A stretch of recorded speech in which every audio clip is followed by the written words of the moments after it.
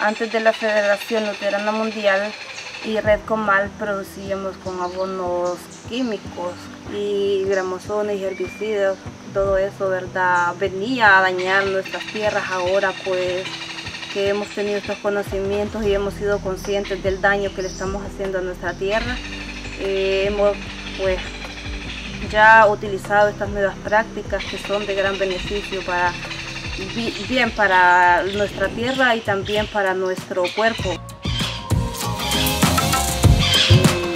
Verduritas frescas, cuando yo las quiero yo las voy a cortar ahí.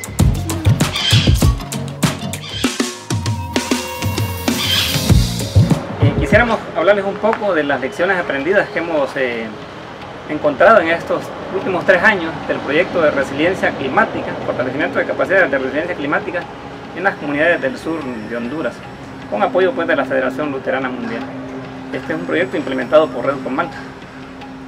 Eh, realmente eh, queremos rescatar digamos, la, importancia que ha tenido en estos años la participación activa de los líderes y lideresas comunitarias en todos los procesos, los procesos organizativos, los procesos productivos, los procesos de articulación con otros actores. La participación de hombres y mujeres, 284 personas participaron en procesos de formación y capacitación. Eso significó, digamos, una participación de un 56% de mujeres, 160 mujeres activas de, 11 comunidades que acompañamos en, en 6 municipios de la zona sur de Honduras. Importante también es resaltar eh, toda esa articulación que hemos tenido a nivel regional con socias, ¿verdad? como fue la Unión Ecológica Salvadoreña, sí, con otra organización que coordinamos para los procesos de fortalecimiento de capacidades, fue con el Centro Bartolomé de las Casas, que nos ayudaron mucho en los temas de justicia de género y el tema de masculinidades pero también, ¿verdad? Últimamente con GEMIAS, que se ha tratado bastante todo este tema de movilidad humana, el tema de migración. En el caso nuestro, el abordaje que hacemos para generar condiciones en las comunidades del derecho de no migrar. Ahora, eh, como le digo, ya eh, tengo ahí mi parcela y tengo el sistema de por goteo, es más fácil para mí porque recolectamos el agua de los baños, de los lavamanos, todo va a dar ahí y también el abono ya no ando comprando eh, así abonos químicos porque hemos aprendido ya a hacer el, de abonos orgánicos. Y eso no, me ayuda por, en lo económico me ayuda bastante.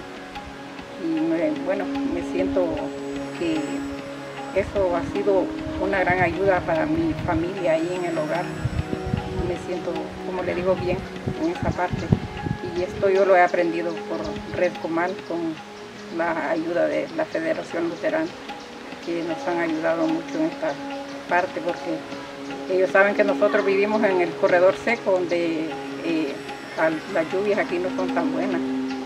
Y la implementación de las prácticas agroecológicas eh, han tenido un gran impacto, tanto en nuestra economía familiar, eh, puesto que a través de estas buenas prácticas protegemos el, medio ambiente, eh, tenemos, evitamos eh, la contaminación y además de eso nos ahorramos de muchos gastos ¿verdad? que podemos evitarlos con el uso de las materias orgánicas que adquirimos a través de la misma naturaleza.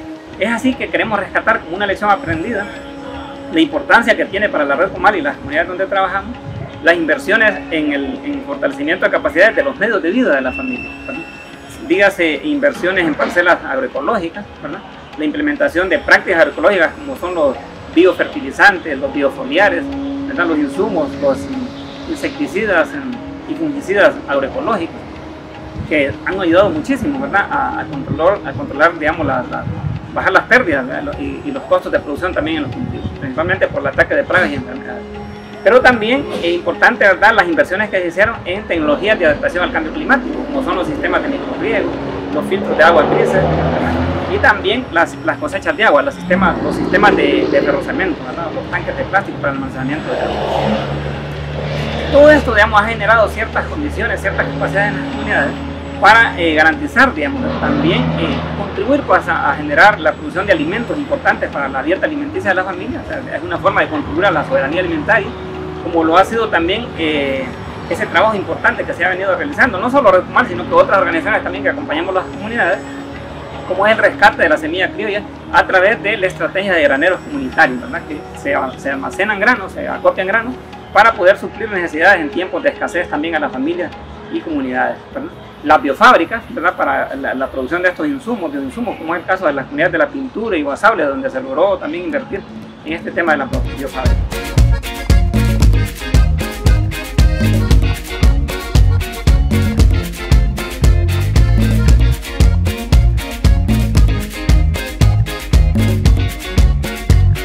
Impacto que hemos tenido en esto es que hemos tenido mejoría porque hemos usado lo que es el abono orgánico y hemos dejado lo que es los materiales como los químicos. Bueno, como antes de que no estábamos organizados, pues sembramos, podemos llamar así sin, direcciones, porque siempre utilizábamos todo lo que es gramosones, o sea, todos los químicos que nos vienen a, arruinar eh, tanto como el medio ambiente y también a la, a la persona, al ser humano. Pero hoy, gracias a la organización, pues logramos aprender muchas cosas, como ya lo mencionábamos antes.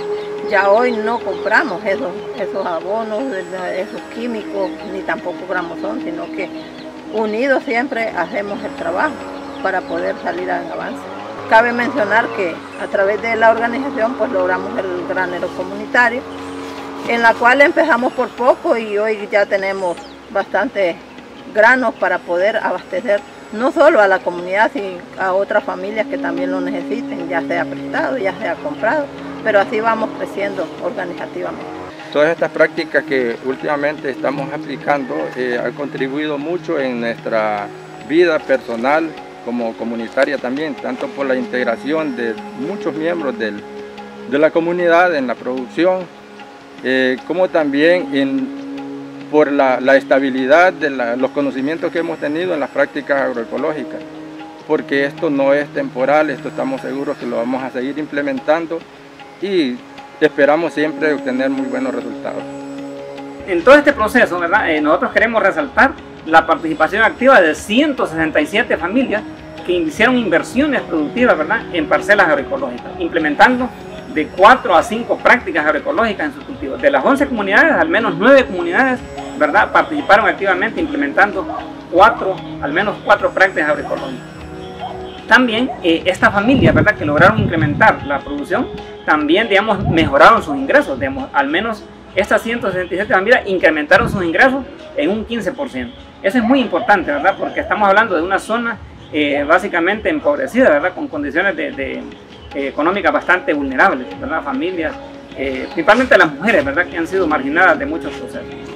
También eh, nosotros queremos rescatar como una lección aprendida y que se evidencia, ¿verdad? En los territorios, en las comunidades, es, digamos, el cambio de actitud por parte de los hombres. Que ahora, digamos, estos hombres, muchos de los hombres que han participado en los procesos de formación, especialmente en justicia de género y masculinidad, ¿verdad?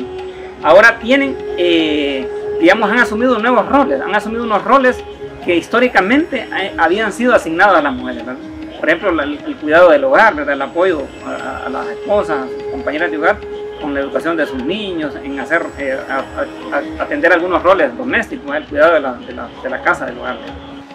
Otro de los logros que hemos eh, obtenido últimamente es eh, que hemos logrado la participación activa de las mujeres en nuestras actividades, tanto hombres como mujeres nos contribuimos en las diferentes actividades que hacemos, tanto en el hogar como también en, el campo productivo.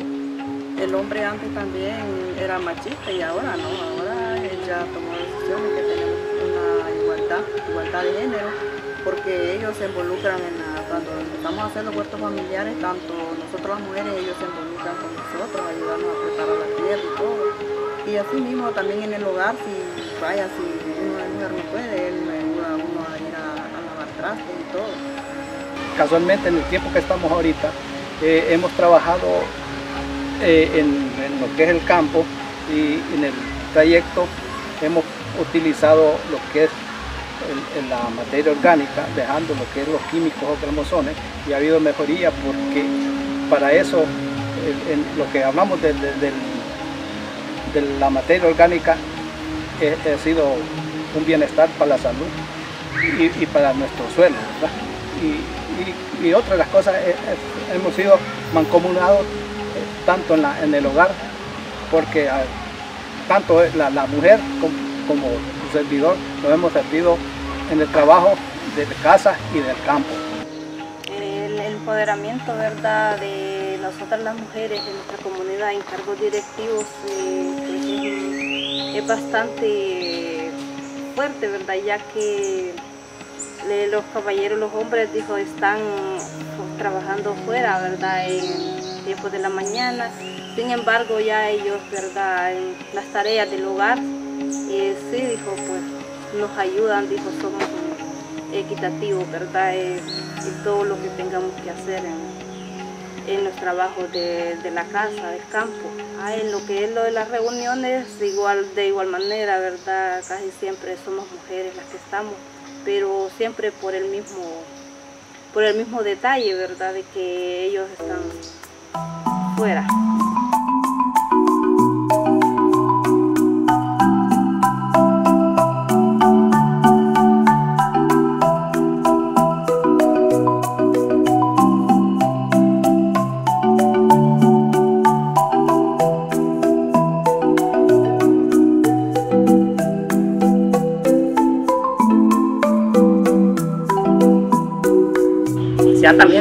Carga de trabajo hacia las mujeres, principalmente con los sistemas de riego, ¿verdad? Por, por goteo, ¿verdad? Porque antes esas tareas las hacían las mujeres de andar cargando agua de los, de los, de los ríos, de los pozos, ¿verdad? Y eh, de las fuentes de agua natural para poder eh, irrigar los cultivos, ¿verdad? Ahora, en, cuestión de media hora se manipula una válvula y entonces el sistema de riego se, se echa a funcionar. Eso disminuye pues la carga de trabajo de las mujeres y estas mujeres pues tienen ahora mayor oportunidad dedicar ¿verdad? ese tiempo para otras tareas, ¿verdad? para cumplir algunos roles sociales también en la participación de la comunidad. Hemos visto vemos que se han incrementado los ingresos, que se ha incrementado la productividad también, implementando prácticas eh, agroecológicas, ¿verdad? Ha habido una reducción de los costos de producción, digamos, en, el tema de los cultivos, ¿verdad? Voy a poner un ejemplo, hemos tenido un costo de 10.000 empiras, una, una manzana de, de cultivo de maíz, hay una disminución por lo menos de unos 2.500 a 3.000 empiras implementando prácticas agroecológicas. Además que se evita la contaminación del agua, la contaminación del aire, la contaminación del suelo. O sea, se reduce muchos riesgos pues, ¿verdad? Que, estaban asociados a la salud, tanto de las personas como del medio ambiente. ¿verdad? A la hora que implementamos prácticas agroecológicas, pues se contribuye ¿verdad? a una menor contaminación. La gente ha tenido una actitud también ya, eh, digamos, más ecológica, en el sentido que se evitan las quemas, ¿verdad? Se evita el uso de químicos y también eh, pues se ha agarrado una cultura también de, un manejo más adecuado de la basura, el tratamiento de los desechos sólidos, que eso es importante, la separar la basura orgánica de la inorgánica, que son como procesos que se han venido llevando. La red Comal también ha contribuido ¿verdad? En, enormemente, yo creo que eh, nos ha ayudado muchísimo el hecho de la tecnología, hacer uso de las redes sociales, hacer uso de, la, de, la, de las páginas web, de, todas estas plataformas que tenemos digitales hoy y también de la radio, ¿verdad? la radio comunitaria, las radios alternativas que hay en los territorios para difundir ¿verdad? mensajes de sensibilización ¿verdad? Eh, para que la gente pueda tener mayor conciencia del daño que, que, nos está causando el cambio climático, el calentamiento global. Entonces yo creo que en, esta, en estos últimos tres años más o menos se han sensibilizado entre 50.000 a 60.000 personas ¿verdad? Eh, en esos territorios, ¿verdad? principalmente en el departamento de Choluteca y el departamento de Valle, que han recibido mensajes de sensibilización para eh, poder, digamos, eh, ser, tener el cuidado ¿verdad? del medio ambiente y, tener más conciencia pues, de los efectos del, del, cambio climático en los territorios, en nuestras comunidades. agradecemos muchísimo desde Red Comal, la Junta Directiva Nacional, el personal técnico e administrativo de Red Comal y las organizaciones comunitarias Queremos agradecer a la Federación Luterana Mundial y a todos los donantes del proyecto Canasta, eh, Vida, Justicia, Dignidad para los Pueblos de Centroamérica, por este apoyo consecutivo en los últimos tres años, pero ya son siete años de, participación con, de apoyo pues, solidario de la Federación Luterana Mundial. Agradecemos a la oficina, el equipo pues, de la oficina regional allá en El Salvador, pero también el equipo aquí en Honduras, con quienes hemos coordinado, con Carlos Rivera, Cindy Ruiz y también el compañero Israel Barahona. Y a todo el equipo regional, ¿verdad? No quisiera dejar sin mencionarlos. Ese agradecimiento a la cooperación solidaria, eh, de todos los donantes pues, que apoyan a la Federación Luterana y que a través de la Federación pues, llega el apoyo a la red comal. Muchísimas gracias y seguimos adelante, compañeros y compañeras. He recibido mucho apoyo de, de Red Comal y aquí de la Federación Luterana. Se le agradece grandemente a la Federación Luterana Mundial y a Red Comal aquí en Honduras por el apoyo que nos ha estado dando.